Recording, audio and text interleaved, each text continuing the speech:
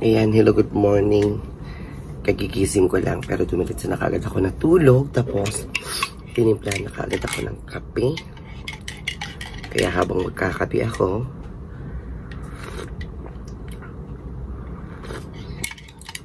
durian, this one, be? No bread. Habang magkakape ako, saan ko to? Bibos. Ayan. Mag-unboxing ako ngayon ng Bibos bago ko siya gamitin. Ito, sapatos.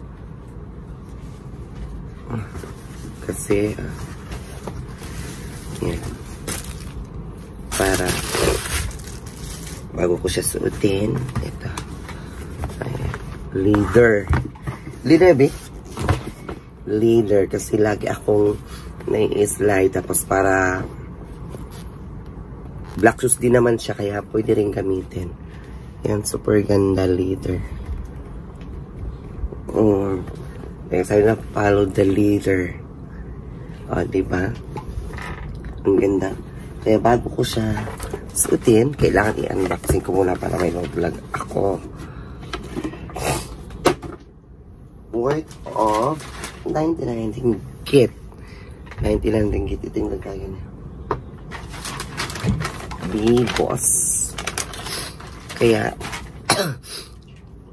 ita-try ko siyang suotin. Wait lang. Ayan. Ito yung sapatos, ita-try ko na siyang isuot. Kasi maganda naman eh. Ang ganda oh, tingnan mo oh. Bagay sa akin. Ito yung sapatos. Leader siya, leader. Palat mahal siya pero binili ko na lang kasi para sa hindi ako ma-slide eh. Sa naman sa ma-slide ako palagi dun sa work ko kasi sa kitchen, black shoes talaga yung pang office pero doon pa yun yung ginagamit ko pero ano, nakaka-slide talaga.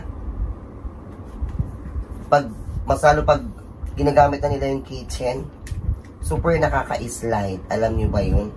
Nakaka-slide kasi ang tubig, lahat, nandun. Ayan. Pero bakit hindi ito ata pantay? Kaya, okay naman. So, ito na yung sapatos. Ayan. See? Ayan.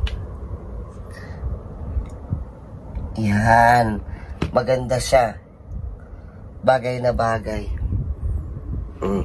Diba? Oh. Ayan, hanggang sa susunod na aking pagbablog ulit. Sana nagustuhan nyo kahit unboxing lang na sinuot ko naman kaagad. This is Lipo Guy. Bye-bye. Until my next vlog.